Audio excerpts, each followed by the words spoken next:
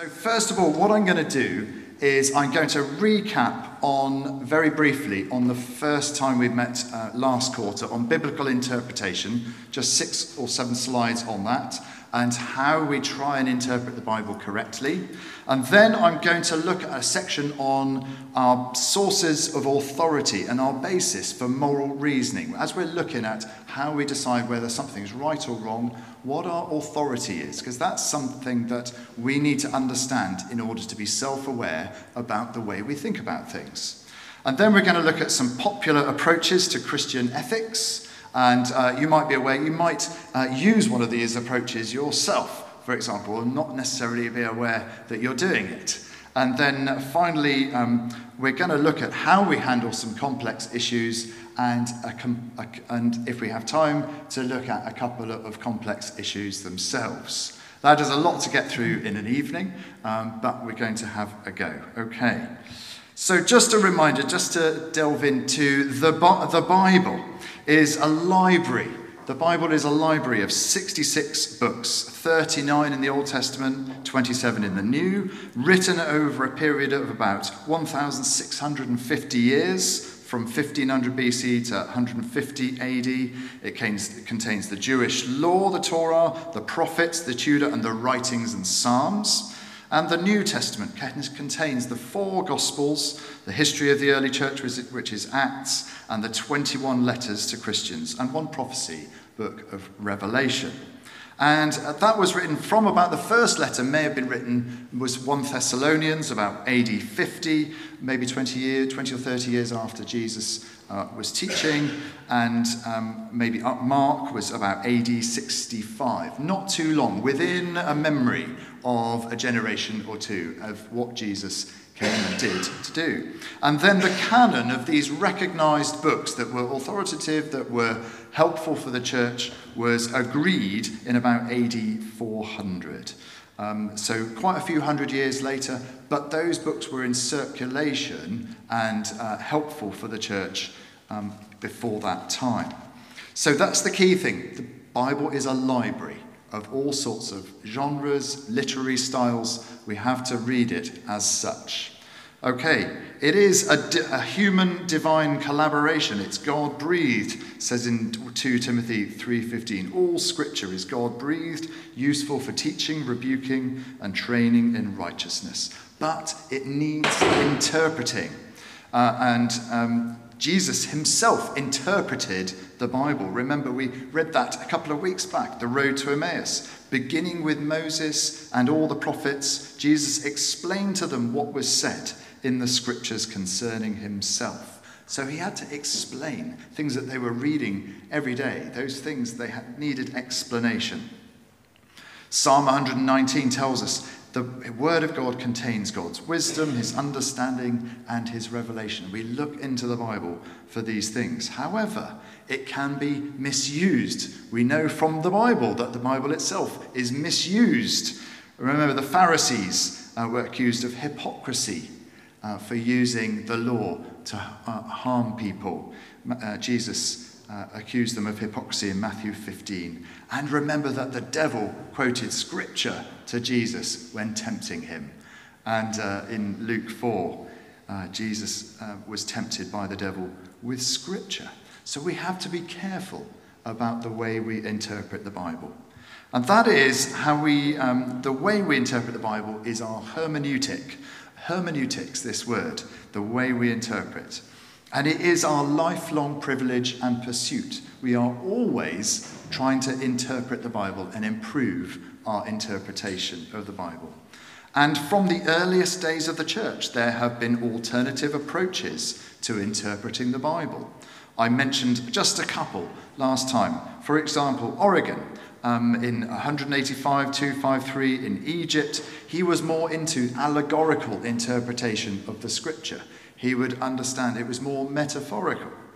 Uh, whereas John Chrysostom in 347 um, um, was more keen on a plain historical reading of the text. So you can see completely different approaches right from the outset, the earliest days of the church. And then Cassian and then Augustine tried to bring these different approaches together, what they called the Quadriga. It became the basic hermeneutical manual of the Middle Ages for centuries, and uh, that four part method of interpreting the Bible. But then at the Reformation, the Protestant emphasis, emphasis rejected allegorizing and symbolism. Too much symbolism was going into it, they reckoned. And so they uh, were in favor of sola scriptura, a plain reading of scripture for all believers, uh, providing power, life, comfort, and instruction, as Luther put it. And so that we, instead of cl- clergy trying to um, uh, allegorize or tell people what to believe, they, they were really into, and praise God, because here we are today, reading the Bible for ourselves. And that is what happened at the Reformation. Sola Scriptura, that we can determine uh, what God is thinking from the Bible itself. And so here are these principles that we've inherited from the Reformation. Sola Scriptura, the script that Scripture contains the whole will of God and can be understood by all believers with the help of the Holy Spirit. There is the principle of progressive revelation, as it's called, such that earlier parts of the Bible were written for and about earlier societies with very different cultural backgrounds and context. And so we understand that Christ superseded the ritual laws, for example, that we read in the Torah. But Christ came and his uh, one sacrifice on the cross meant that we do not have to participate in sacrificial offerings uh, of animals today. So there are parts of the Old Testament that have been superseded. And this is the principle of progressive revelation that actually God has brought us a long way, even within the context of the Bible. And then um, um, uh, the principle of Protestant interpretation is to look for authorial intent. What was the writer intending to say, and what was the context of how they wrote it? And this is a key way we interpret the Bible today, trying to understand what the author's original intention was as they wrote that, and under the guidance of the Holy Spirit. It is that the, the, God did not hold the pen, human beings held the pen, but under the inspiration of the Holy Spirit. But through uh, understanding what the author intended, we can gain more insight about what God is trying to convey to us. And then finally, this Christocentric principle, interpreting Scripture through the lens and priority of Christ. So, in everything we read, uh, we understand that we start first with the Gospels and Acts and understand that Jesus is perfect theology. We understand that Jesus guides us into all truth with the way that he is. And so, uh, my suggestion is that if we ask these questions, what did Jesus say or do about it? And then, what did Jesus' followers say or do about it? And then, what did Jesus' forebears say or do about it? We can reach uh, an understanding through the Christocentric principle of what the Bible is telling us in the right way. Does that make sense? Are you keeping up? Okay, so this is just um, a, a recap. This was one of the key slides that helps us to understand perhaps our differences in interpreting the Bible. That met, some people on, uh, on the uh, left hand side of your screen will have more of a literalistic view of the words that they read. They have a sense that the Bible is fixed in its um, and flat and flatter in its understanding. They are looking for precedents. What happened in the Bible, and that's the fixed way that I can understand what God wants now, the precedent of the Bible.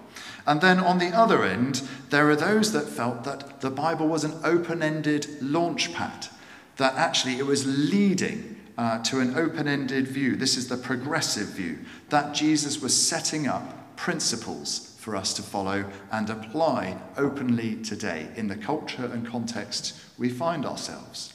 Now, if depending on where we are on that continuum, we might find ourselves um, more literalist or more flexible uh, and more open ended. I think it's fair to say that in traditional terms, the Church of England has been somewhere in the middle. That's what the Anglican middle way is, and that the Bible has been somewhat fixed, but with boundaries that of, of interpretation within that. We try and ask Scripture to interpret Scripture, but we're understanding that within its fixed framework. But the thing to understand is that different interpretations of the Bible and on this continuum lead to different ethics, to different standards of behavior, to different outcomes on moral dilemmas. This is the key thing. Now, you will be somewhere, probably, on this continuum. You may have an understanding of the Bible uh, on the, uh, towards the literalist side or the liberal or progressive side. You may be keener on precedents or principles. You have to ask yourself that question. This is something to wrestle through. And you may not know, uh, you may not be self aware as to which you favour. That's one thing. So I went then finally to a practical approach. In faith, we choose the Bible as a final authority for matters of salvation, faith, and moral guidance. We pray for the Holy Spirit to help us. The Holy Spirit does, as Jesus promised, lead us into all truth. And then we, the key thing is to avoid interpreting uh, verses in isolation. The more of the Bible we can read and understand and memorize, the more we can hold, uh, draw on the widest possible survey of Scripture. And we, in, we can in, um, reference reputable scholarship.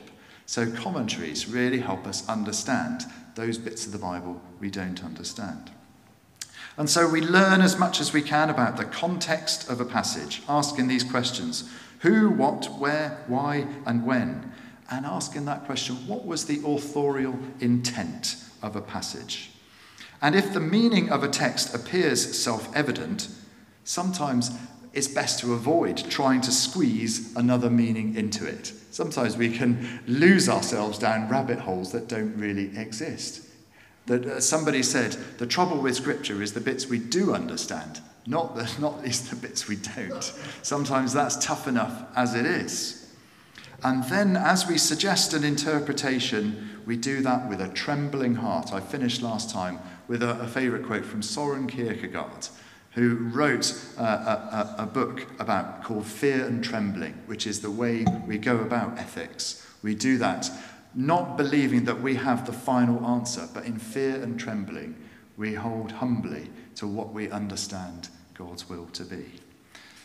So, that's last time. You've done that. Well, that wasn't too bad, was it? Just in a few slides. That was where we got to.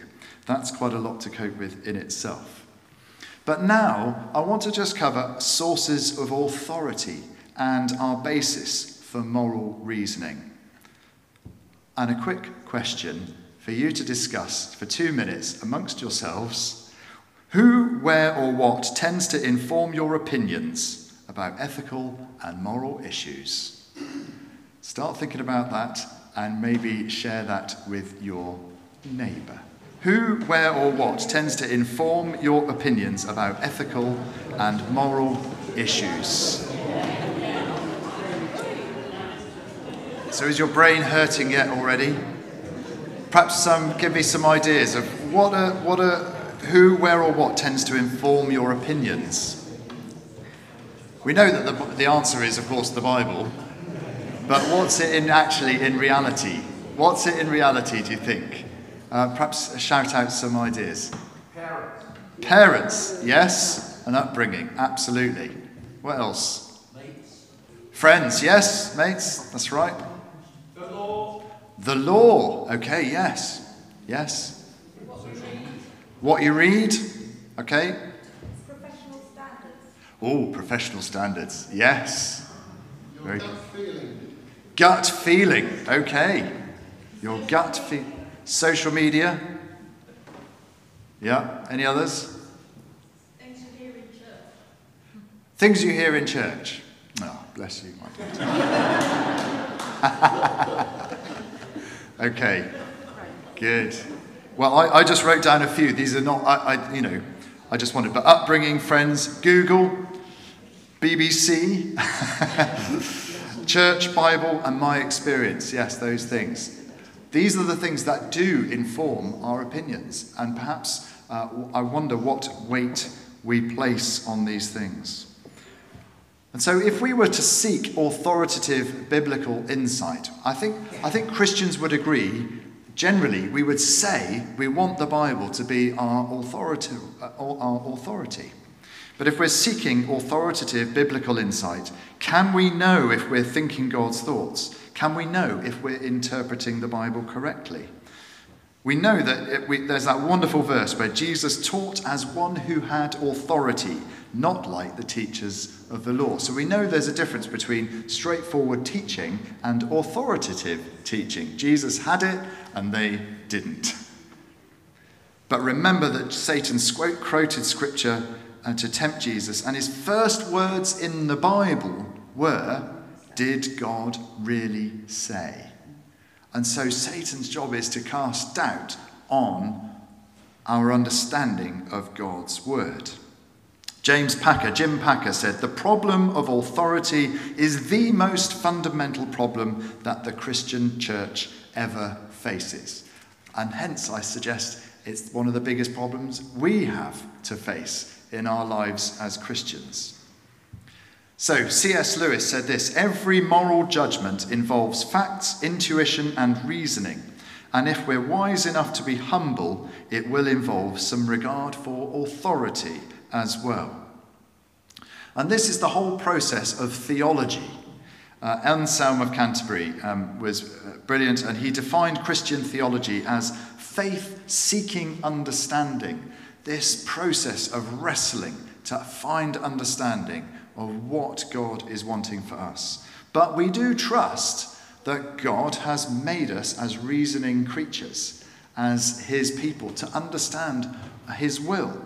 Christians trust that God has all the answers to our questions and that He's given us spiritual and intellectual capacity to seek Him through His Word in order to discern the truth in love. We're here to learn. That's one of the gracious gifts of God, that we can learn what reality is like because God has made us that way and made us able to ask those questions. Actually, on a philosophical level, the fact that we can ask the question is extraordinary. The further you go into asking that, you realize that is amazing that we are made that way, and uh, it is the um, central feature of sentient life that God has made. So, I just want to cover some of the classic sources of authority that the churches have defined through the years. So, the Catholic source of authority for many, many centuries has been three legs, these three legs of a stool. Um, firstly, uh, the magisterium from apostolic succession. So let me, uh, let me explain what that means. So, starting with Peter and the apostles who taught in the temple, uh, from the earliest days of the church. They, had, they ordained people, laying on of hands, and they called that the apostolic succession. And so there, that was ha- doctrine and best teaching was handed down through the magisterium, uh, coming today to Pope Francis, for example, who is, uh, represents the magisterium and those um, clergy. And so that is one aspect of it. Then there is sacred scripture, the teaching of the apostles and prophets with Christ Jesus as the chief cornerstone. And then, as time went on, of course, the tradition of those who had gone before. So the magisterium, sacred scripture, and sacred tradition. Now, in the um, Reformation, there was quite a reaction to the magisterium. They'd got corrupt, they were wanting indulgences. The more you pay, the more I tell you what you want to hear, kind of idea, and more forgiveness you get. And uh, it was getting corrupt, and that was one of the causes of the Reformation. And so for Anglicans, um, um, uh, after the Protestant Reformation, uh, our sources of authority have traditionally been scripture, tradition, and reason you can see that reason overtook from the magisterium, that the individual could reason, given God's uh, intellectual capacity that He's given us, what it is uh, the, um, God is saying through the Bible. And this later became known as the three legged stool, the via media, the middle way between Catholic and Reformed theology. And uh, the guy behind this was this uh, very handsome chap called Richard Hooker. Uh, it, who um, died in 1600. And, but this, uh, this traces its uh, background from the teaching of Thomas Aquinas. So Hooker believed there is a clear or plain sense in Scripture, and because it is clear, um, it should simply be believed through interpretation. And then he then argues that uh, reason and the church uh, tradition holds sway. And where the church rules on something that is in accord with reason, uh, this overrules any other opinion on offer. if you see what I mean. So that's still uh, quite a church based and a church centric, clerical um, system of authority. So then we come along to uh, um, reformers like um, Wesley and um, those um, um, other churches. And they added an additional source of authority. He subscribed to scripture, tradition, and reason, but also then added experience into the mix um, because we have our experience to gain uh, wisdom from. So that became known as Wesley's uh, quadrilateral. Instead of just those three sources of authority, there were four. And then time moved on, and um, uh, the nonconformist churches uh, based a lot more on different sources of authority. And over time, we then come to later additional sources of authority. Uh, for example, John Macquarrie was an Anglican um, theologian. He was described as Anglicanism's most distinguished systematic theologian in the second half of the 20th century. And he suggested that revelation, culture, and context should be added into the mix. So instead of just the three legged stool, you've got a multi legged stool here. Lots of things adding to the authoritative understanding of the Bible. The key to understand with all this, I don't know if you can, uh, you can, I hope you can read this, is that it travels effectively from one side, which is just the clerical edict, right to the other side, where it is personal experience and gut feeling. Does that make sense? And the word between these two is heteronomy or autonomy. Heteronomy means you take your, your understanding of authority from outside yourself. And so you're looking to other people, you're looking to the church or clerical edict to understand what your authority is. So you're just simply looking for the answer. And maybe a papal edict would do it for you, and that's the end. Do you see what I mean? On the other side, you've got autonomy. And uh, really, I am becoming my own authority. So, isn't this interesting? This is an interesting thing. That somewhere in the middle, of course, we've got scripture, tradition, and reason, and the middle way. Which way do you reckon society is heading? Definitely that way. The search, the search uh, for authenticity, as it's called, for Gen Zs and uh, the youngest generations, is a cruise towards autonomy. And so, self reliant authority. That is a key direction of travel. And so, you hear phrases, you've got to be true to yourself. That is the definition of autonomy in its purest form true to yourself only. Now, the trouble is, of course, that is entirely subjective. You can do what you want, entirely. Of course, at the other end, I can only do what I'm told, which leads to autocracy and, um, um, a, a, um, and the danger of dictatorship and often spiritual abuse. But there, I suggest there is an equal danger with autonomy. Now, we have to be self aware about which way we drift in this continuum. And society and, and contemporary culture, there is a big tide that direction. it is pushing towards autonomy. So I suggest that if we are to keep the scriptures central, we have to have a continual dialogue uh, between these things, keeping the Bible central with our experience, with the witness of the Holy Spirit, that sanctified guts feeling that we've been talking about.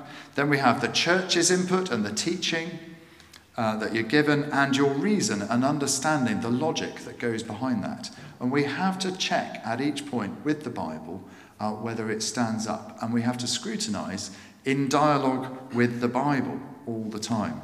And that keeps us, keeps us central.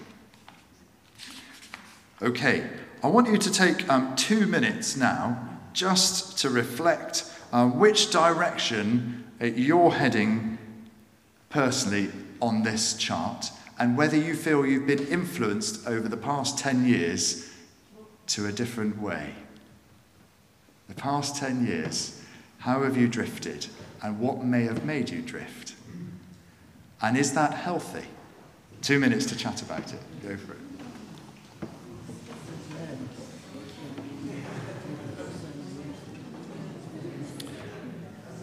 I think my conclusion is from everybody that I've I, I talked to in the past, um, well, 25 years now of ministry, I know that uh, many people have been changing towards autonomy uh, and drifting that way.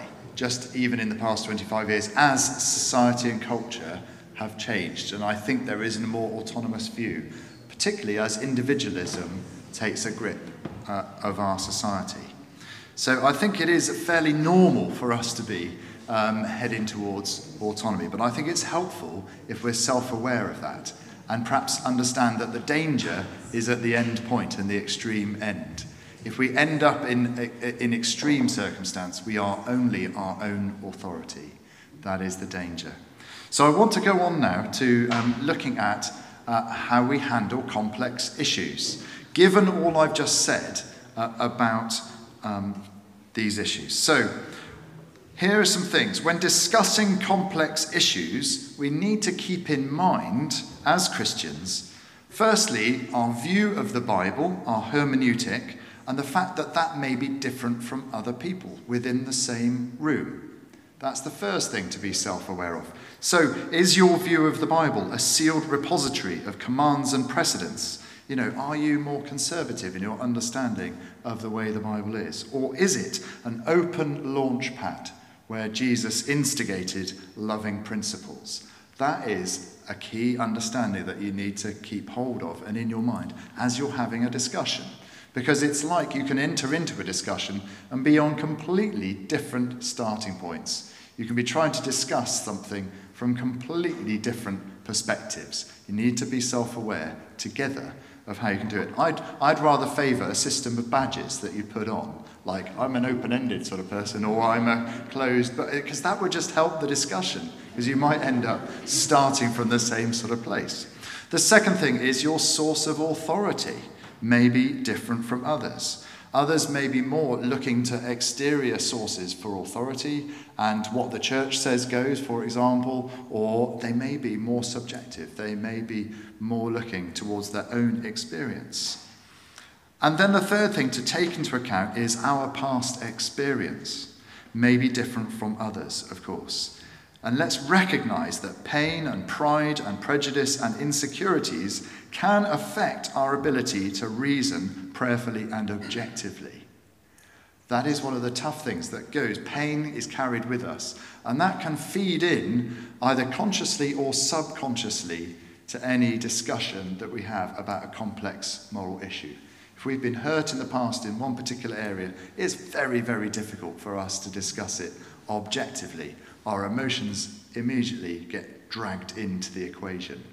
So just keep those things in mind as uh, we discuss things together. Here's some advice on handling complex issues from Philippians 1, verse 9 to 10. And this is a wonderful verse. I think it's amazing.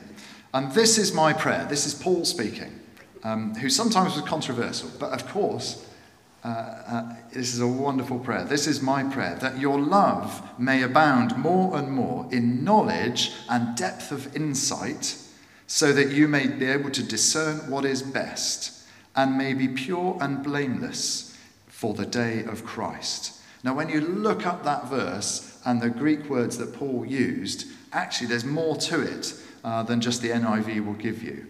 And so these things, uh, I pray that your love may abound more and more in knowledge, yes, and depth of insight, but judgment, right judgment, so that you may be able to discern what is or be discerning over controversial matters. They just say what is best, but actually you may translate the word there controversial matters, divisive issues, and may be pure and blameless, sincere and without offense for the day of Christ.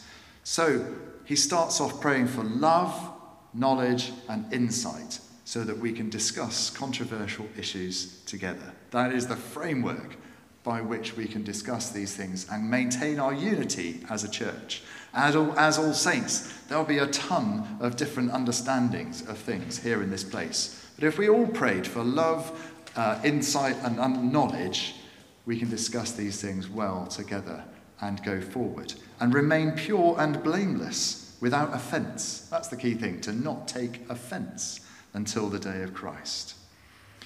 Good. So I want to cover some um, popular approaches to Christian ethics.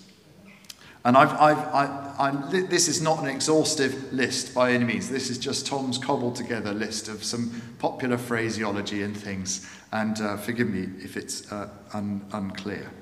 But first of all, um, most Christians will acknowledge three, uh, Jesus' three love commands. Jesus' three love commands as being central to our understanding of what he came to do. And the three love commands love the Lord your God with all your heart, soul, strength, and mind. That's the great commandment.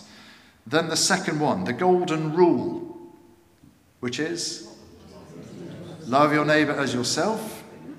And then the new commandment, that's the third one he gave. And uh, uh, interesting. Love one another as I have loved you fascinating ethical principles there because he demonstrated exactly what love looks like through his own actions. So, those three love commands. And then the, the classic way is deductive reasoning. What does the Bible say? We read the stories, we understand what Jesus um, has commanded us, uh, but by deductive reasoning. And so, if we are thinking about an issue that is contemporary, uh, we take what we know of the Bible and we deduce from the principles that we find in there what is right applied in another situation. Deductive reasoning. Uh, so, on many issues like the sanctity of life is a key principle that the Bible teaches. The sanctity, you've been made in the image of God. We often hear that quoted. This is deductive reasoning and understanding. What does the Bible say? Then, of course, another classic, many, many people, including me, I've found this helpful at times WWJD, what would Jesus do? But what might be the problem with that? Sorry? Hey, carry on. I could, sorry. He didn't have a mobile phone. No. Interesting. What interesting. So how can we that is exactly it. How would, when we're facing contemporary issues, that relies on our uh, own understanding of, of how Jesus would act in a particular current context. So, again, it is helpful, but it is veering towards subjective reasoning, subjective, autonomous reasoning. Uh, and then, of course, there are classic ethical theories utilitarian, the greater good. We've probably all thought about that um, at different times. Choose the greater good. And then Kantian uh, e- uh, ethics is just do the right thing now. Don't worry about the consequences. Don't worry about the consequences. Just do the right thing here and now. If somebody's asking you to lie for the greater good, that's wrong, he suggests, for example. Just do exactly what is right in this moment. And of course, that breaks down because there are. Then you can say, well, the consequence of doing that good thing was dreadful. you know, so, so these are different approaches that people have taken. But I want to suggest that um, balancing up is something that we all perhaps might be doing unconsciously or consciously. And we balance up scripture, tradition, reason, and experience as part of our Christian walk. And we take various bits and pieces uh, of what we know of the Bible, what we know of uh, uh, tradition within the church, what we know um, of, of our experience, and we put them on a, a, a weighing balance. And we try and start balancing things up. For example, how did Jesus behave? How did Jesus teach? We put that on the scales. And then what did Paul teach about it? What, did, what does the church teach about it? We pop that on the scales. And we consciously or unconsciously give different weight to that until we find which way we go. And that is, sometimes it's more difficult when it's really very finely balanced. I want to give you just some pastoral principles for continuous learning, and these are very helpful um, things. So, we continually wrestle with moral dilemmas and difficulties. We continue to do this. Uh, and so, when we have a pastoral experience, something confronts us. We then go and do research and study. This is the Christian way. We, we pray about it, we research the Bible, we study the scriptures. We pray and reflect about what it might mean, how that might work out in practice, and then we give a gracious response. And then we see what goes wrong, and we try by error and blessing to see and repeat the cycle, rinse and repeat. I suggest this is a lifelong pursuit. It's a lifelong pursuit. Um, there are some helpful um, pastoral principles that the Church of England um, published, and I think these are really good in the Living in Love and Faith um, uh, series. Uh, and so, acknowledging prejudice, acknowledging our own prejudices, if we can understand how we are prejudiced. Speak into silence. Sometimes it can be abusive just to not speak. That can be, say as much as talking. Uh, then addressing ignorance. Sometimes we don't know what we're talking about and haven't experienced things. Casting out fear admitting hypocrisy where we are hypocritical ourselves. So, again, an open handed approach to discussion. And the key one is paying attention to power. Power dynamics cripple conversations and make things very difficult. Power, we may not know how much power we exert. Uh, even, even in here, I'm, I'm now, right now, I'm exerting power. I'm two steps above you. I'm speaking through a PA system. I am exerting power. No, I'm, no, no, no. What I'm saying, but we have to be aware of this in case, because we can all too easily abuse that. This is a dangerous, this is a dangerous place. You're subject to more judgment the more power that you exert, I would suggest. So that's just a helpful set of guidelines for dealing with complex issues. So, here are 10 hot potatoes that are contemporary complex issues, things that uh, you may or may not have figured out an opinion on yet. And actually, we may be continually going through this cycle of trying to learn, trying to understand, and trying to help. So, uh, gender identity, what does that mean? Abortion, what do we think about that? Divorce and remarriage, human sexuality, and, and uh, gay uh, issues uh, women in ministry, genetic engineering and bioethics growing at a pace. Can we keep up with all the developments uh, and what the implications are as people fiddle about with DNA? Pacifism and war. That could come home to roost. What is it? What is our opinion about was Jesus pacifist or not? Question. Uh, economic systems. We're in a capitalist society. Is that the right godly way? Maybe not. Maybe it is. Maybe there are good bits and bad bits. But I think uh, sometimes um, we need to be aware of what system we are inhabiting. What about this growing one of artificial intelligence and human augmentation? That will start taking over. That will happen, that actually there'll be a new generation of people that are augmented by AI, and they will be at an advantage. And how do we think about that? What does God think about that? How can we help prevent? There are people writing now saying we must step in and, and um, stem the development of general uh, AI because it could be very, very harmful to humanity. Are we taking that seriously? What does God think about that? And then, and then the final one I've got here is environmental care and climate change. We're told the, the, the planet is on a tipping edge. We don't have all the scientific facts at our fingertips. How do we respond? And what steps should we take as individuals? Ah, overwhelming, hey? Can we solve all this in a night? No, we cannot. Let me just highlight just a few more other complex issues. Uh, some of these have been more resolved, and we may be, I, I, just put these that we may be a tad more settled about this in a typical church like uh, All Saints. But infant versus believers' baptism, uh, for example, uh, people were killed over this years back.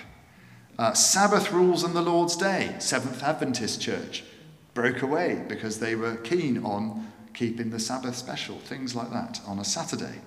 The work of the Holy Spirit today, there's the cessationists and those who believe that the, that the Holy Spirit ceased all activity at the closing of the canon of Scripture. Whereas uh, I think a, a, large-ish majority, since today of evangelicals at least, sense that the Holy Spirit is still active uh, in the church today.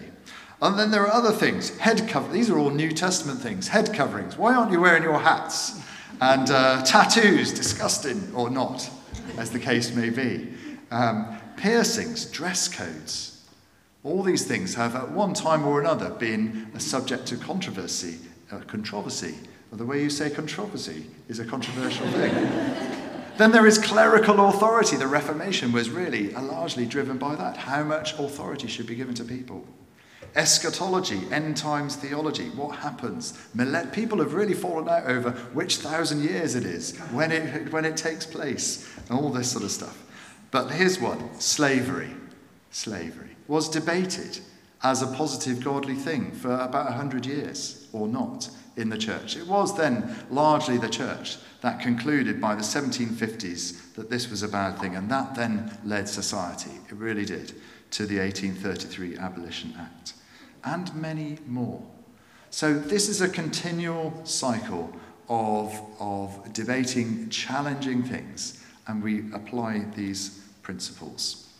Okay, I'm going to give you a little five minute break. And then we're going to come back and talk about primary and secondary issues. And then we're going to look at um, a couple of uh, real life issues today, including human sexuality, if we can handle it. Okay? Can you handle it?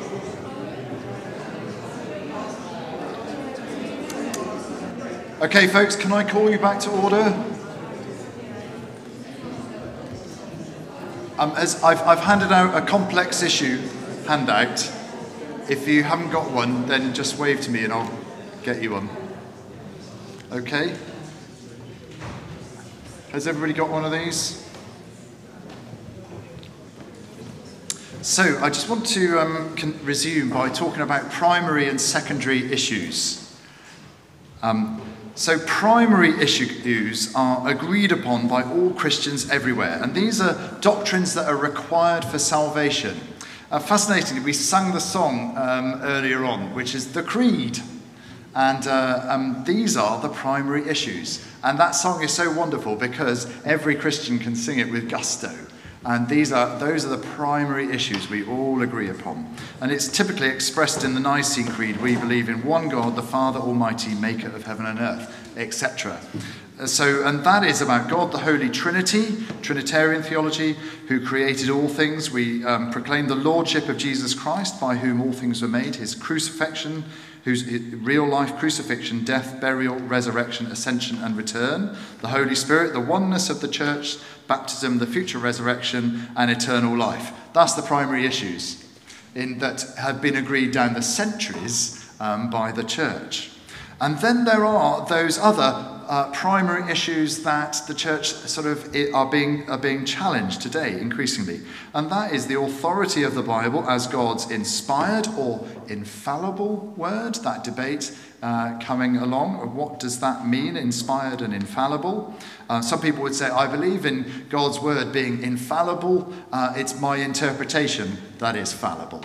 And uh, that's an interesting way of uh, putting it but also the nature of humanity, sin, salvation, and eternity seem to be primary issues that were um, uh, unchallengeable that now perhaps are challengeable. What does original sin mean? for example, that doctrine that we've all understood, but um, Augustine and Augustine defined, but now it's under something of a challenge.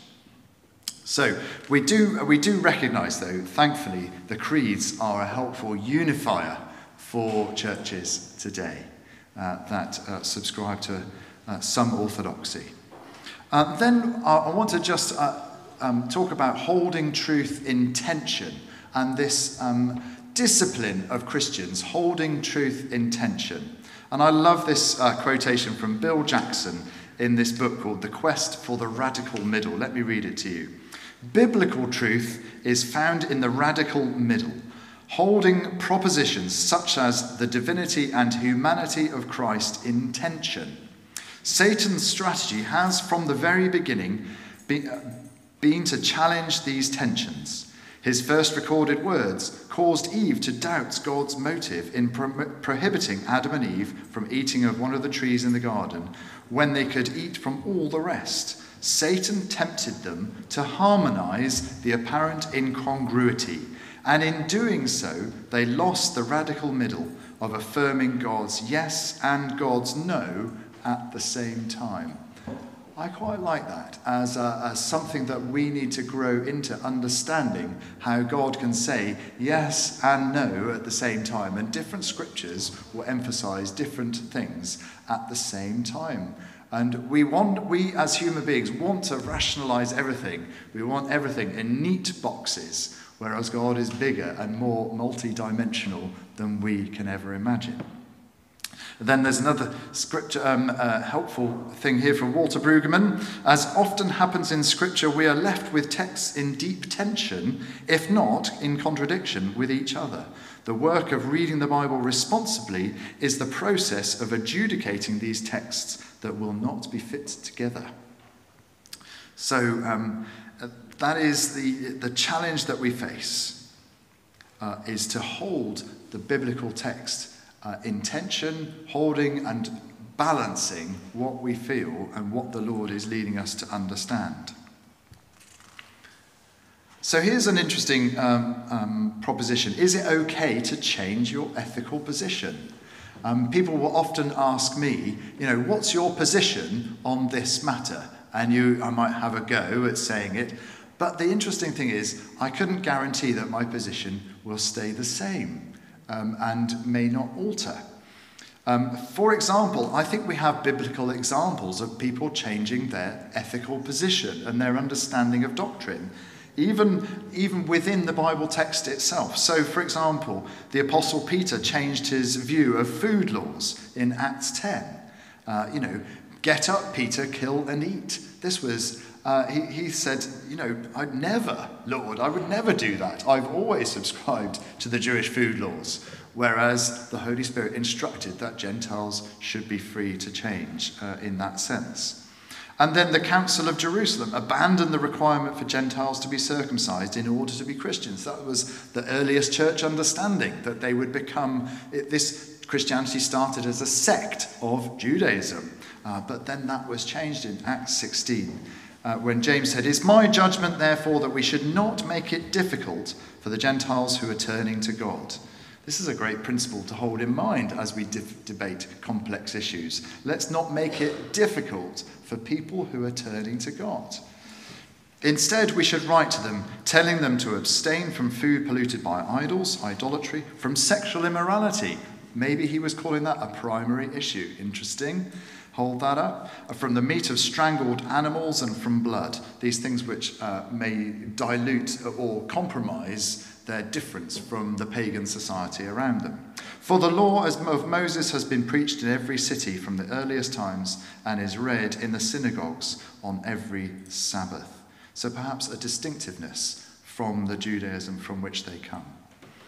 But again, so uh, that, is, that is just a background to the change that they permitted, a thoughtful change, uh, helpfully debated and, and um, communicated.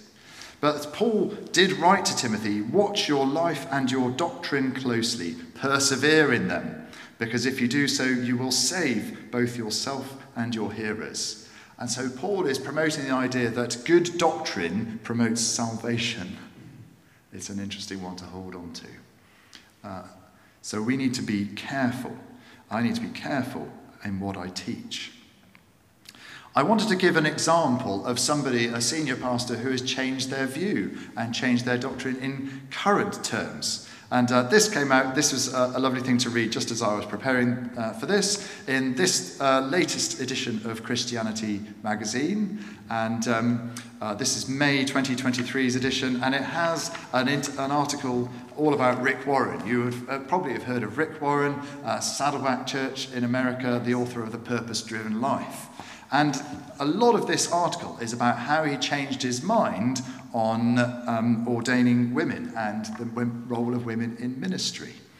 And uh, so he changed his mind when he was um, studying passages of the Bible, preparing for another conference about evangelism and how there's these goals for 2033, 2,000 years after Jesus was crucified, uh, to uh, have a great effort in evangelism for the next 10 years uh, to share the Great Commission. And uh, so he was reading about the Great Commission in Matthew 28, looking at the verbs there go, make disciples, baptize, and teach was Jesus' commission to everybody. And it suddenly struck Rick was that just to men? Or was that to all disciples? And I think he started concluding it was his instruction to baptize and teach must apply to women too. And then at Pentecost in Acts 2, the Holy Spirit was clearly poured out on both men and women because Peter felt obligated to explain it. He said, I will pour out my spirit in the last days, says the Lord, on both men and women. And so Peter explained that the Holy Spirit was at work in both.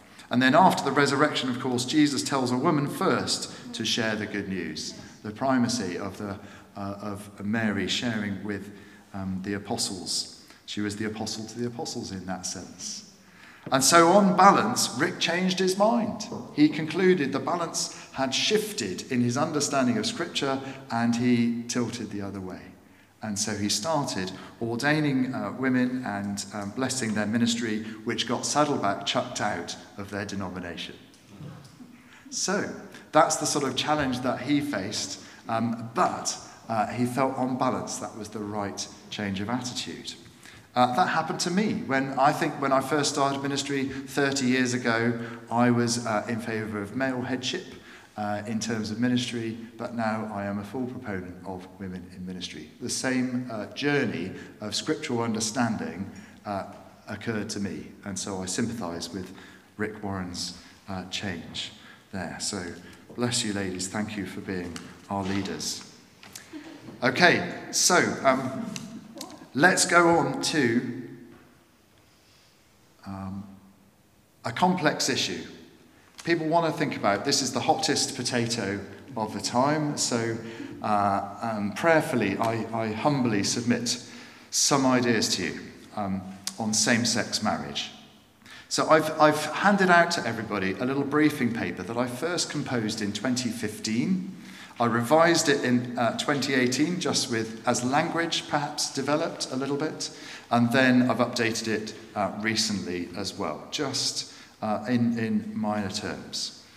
Um, but I wanted just to go through this because it shows some of the principles that we've been talking about uh, in this presentation so far in action in the briefing. Uh, I've tried to keep it brief.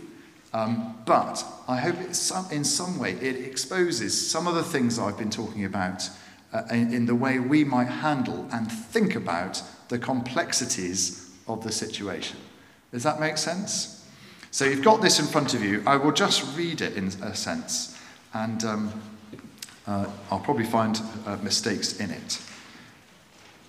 So, although there is broad agreement amongst Christians that the marriage covenant is the most appropriate setting for a loving sexual relationship and the nurture of children, there is much current debate as to whether this grace should be extended to homosexual as well as heterosexual couples. And this question essentially boils down to whether God blesses homosexual sex as a legitimate expression of love and faithfulness in the context of family life.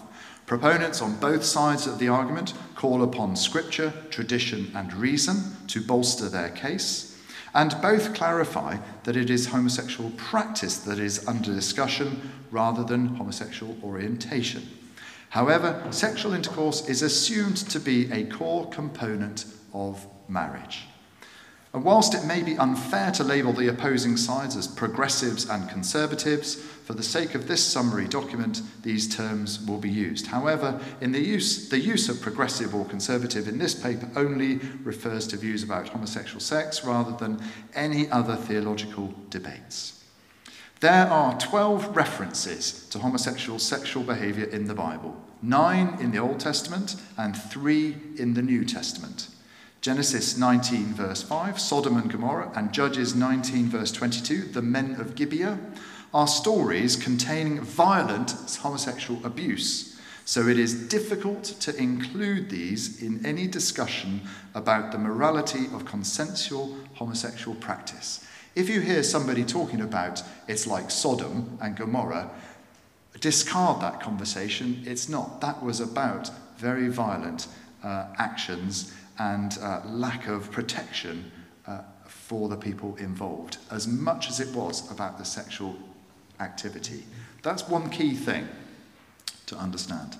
Five more Old Testament references clearly refer to homosexuality in the context of cult prostitution. So that's in Deuteronomy and Kings and 2 Kings. And so it is only the remaining five that are central to the biblical discussion about consensual, monogamous, homosexual sexual practice. Does that make sense? So we're limit, we've, we've drawn it down by, con, by seeing what the context of those scriptures are. And the scriptures that are relevant may be summarized as follows. In the Old Testament, Leviticus 18, those are Torah law commandments about unlawful sexual relations. Uh, and then Leviticus 20, uh, Torah law punishment for homosexual practice. Uh, and those are objective, if you like. They're not in the context of any violence or cult, uh, cult cultic activity as part of worship. Does that make sense? Then in the New Testament, Romans is the first one. Paul cites homosexual practice as evidence of rebellion against God.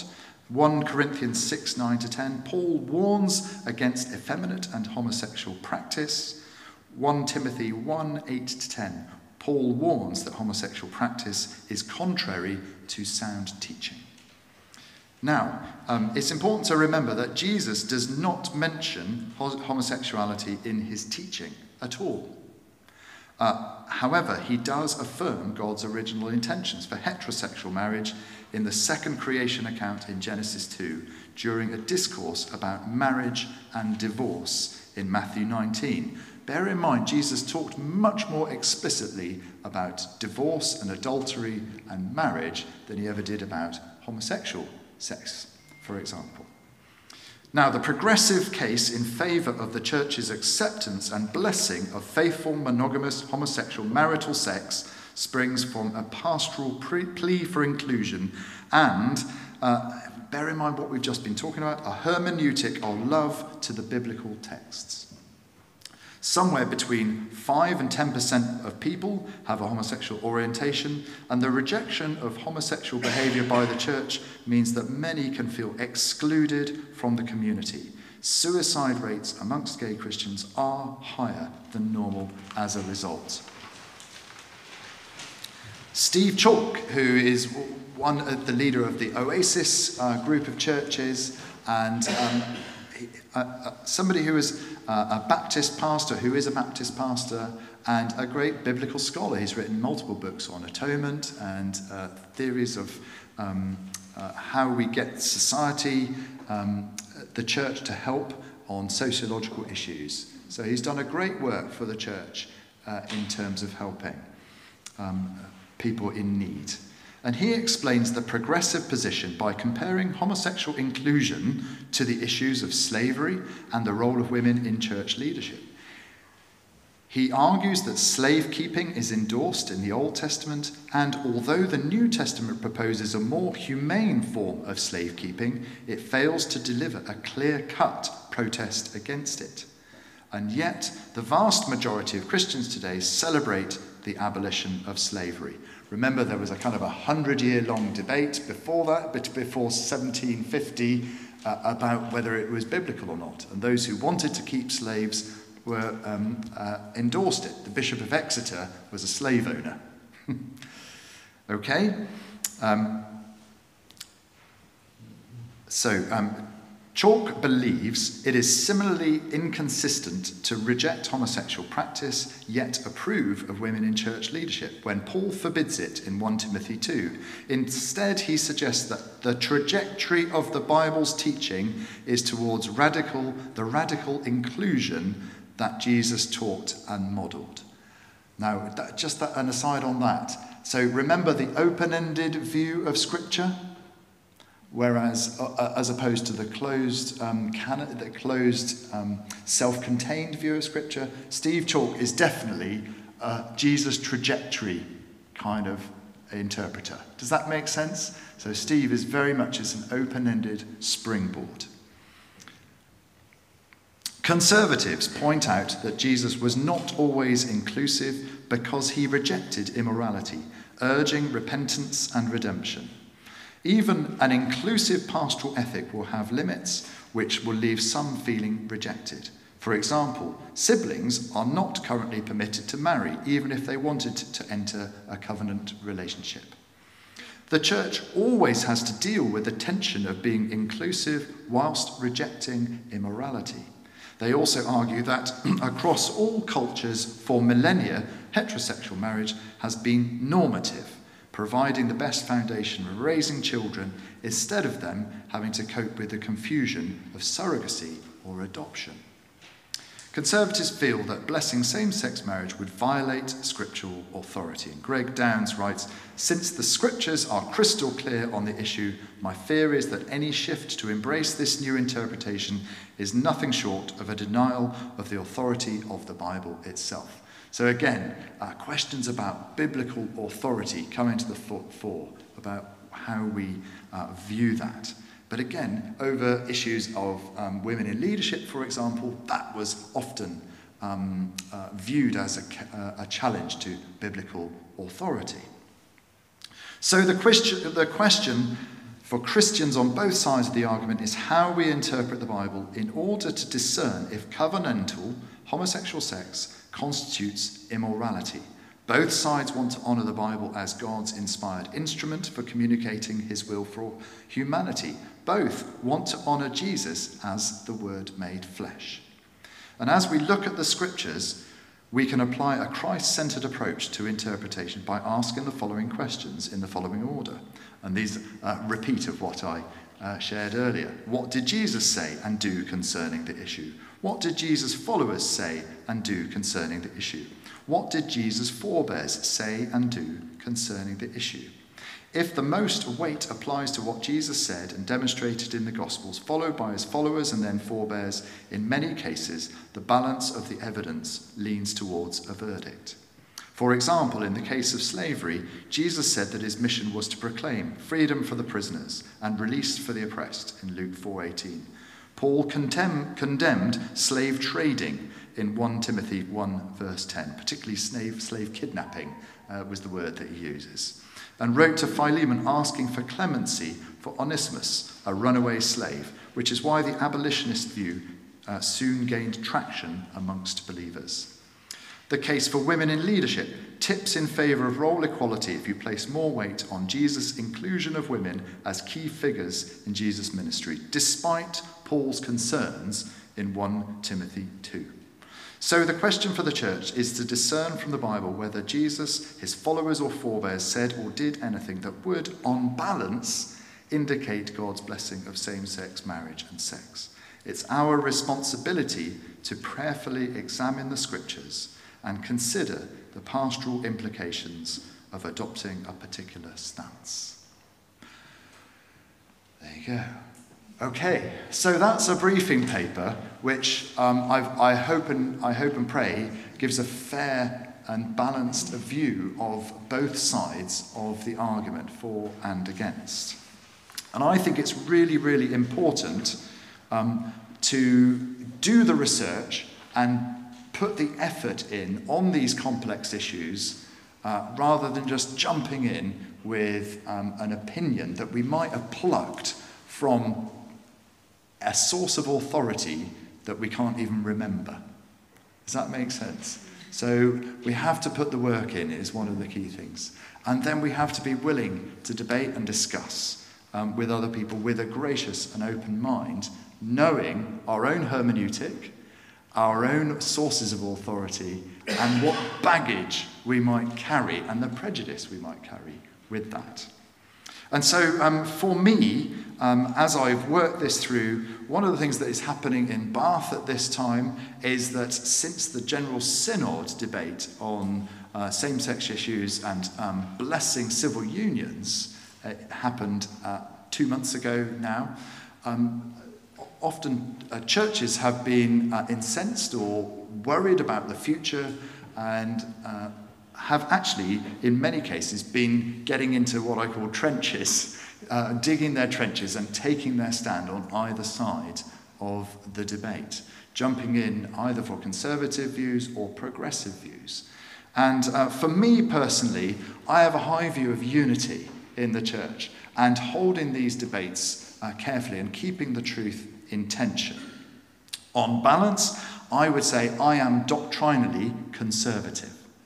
Uh, uh, based on what I read and what I've seen in this paper and the evidence that been, has been placed before me. But on the other side, I want to say that I am pastorally compassionate. And so that means that A, I won't, you won't ever find me saying, I'll never change my position. B, if a couple or somebody came before me, I don't know how I will respond. I will prayerfully go and consider each and every case that would come to me and the issues that are presented within my congregation, within the people that are in front of me. I will not just simply say, I have decided my position, I'm in my trench, and I'm going to um, uh, uh, dig my heels in. Because I think that the, that um, uh, allows room for God's Holy Spirit to teach and instruct me in the ongoing cycle of pastoral reflection on these issues. And so, uh, as I say, right now I would call myself doctrinally conservative but pastorally compassionate. Now, that also it brings the challenge of internal inconsistency. it really does, because I could, um, you could have, I could hold to a particular set of doctrines and be faced uh, with an ethical problem and find myself in an inconsistent position. I think that is the burden of carrying my cross that the Lord has asked me to carry in some sense. Um, and I was, I was uh, uh, greatly encouraged to find that actually uh, um, uh, more informed church leaders, such as myself, uh, take this position. Uh, whether I'm allowed to quote from Pope Francis or not, I don't know. But I think actually, I find it fascinating that he is adopting this position of doctrinal conservatism and pastoral flexibility. He's being criticized for it, but I think it's interesting. And so he issued this um, um, uh, paper called um, Amoris Laetitia, they always speak in Latin, don't they, on love and the family um, a few years back. And uh, this caused great waves. But I read, I read this quotation. It says this uh, from our awareness of the weight of mitigating circumstances, psychological, historical, and even biological, it follows that without detracting from the evangelical ideal, there is a need to accompany with mercy and patience the eventual stages of personal growth as these progressively appear, making room for the Lord's mercy, which spurs us on to do our best. Uh, Pope, John, um, Pope um, Francis writes this I understand those who prefer a more rigorous pastoral care, which re- leaves no room for confusion. But I sincerely believe that Jesus wants a church attentive to the goodness which the Holy Spirit sows in the midst of human weakness.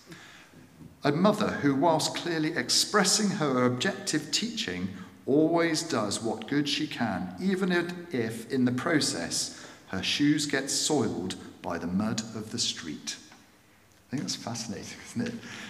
The church's pastors, in proposing to the faithful the full ideal of the gospel and the church's teaching, must also help them to treat the weak with compassion, avoiding aggravation or unduly harsh or hasty judgments. The gospel itself tells us not to judge or condemn. Jesus expects us to stop looking for those personal or communal niches which shelter us from the maelstrom of human misfortune and instead to enter into the reality of other people's lives and to know the power of tenderness. Whatever we do so, whenever we do so, our lives become wonderfully complicated. I think that's, that just struck me as the Lord. I just felt that was godly. And that's, that's the Pope. Um, I, I found that amazing. So, my, my conclusion, I'm going to leave you with that that there is this wonderful uh, complication to handling complex issues that is our, both our privilege and our burden to carry. And I think in this church, I want us to be a wrestling church and a compassionate, a compassionate church. I do not want us to lob grenades at one another and uh, uh, for the sake of feeling right. Does that make sense? Uh, it will, that, it brings with it more difficulty and the risk of um, compromise and internal inconsistency. However, I will preach and uh, um, I will teach uh, doctrinal conservative values, whilst at the same time leaving the door open for pastoral inconsistency. Amen.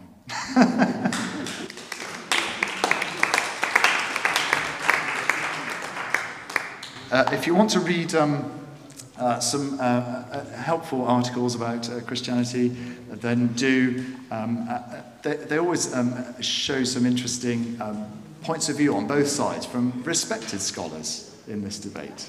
Shall I pray as we finish? So, Heavenly Father, I just pray that you would help us to follow, keep in step with your Spirit uh, Lord. And we want to do the right thing by you. We want to bring people to salvation. We want them to know the goodness of Christ, uh, the repentance and forgiveness of sin, and the reconciliation you offer us. I pray, Lord God, that you would help us to do that and teach us in the way that we should go. I pray that you would help us uh, to watch our doctrine and our life closely but that we would also uh, be caring and compassionate towards those for whom life is challenging. So, Holy Spirit, come and help us. Amen. Amen. Thank you. Bless you. Have a wonderful week.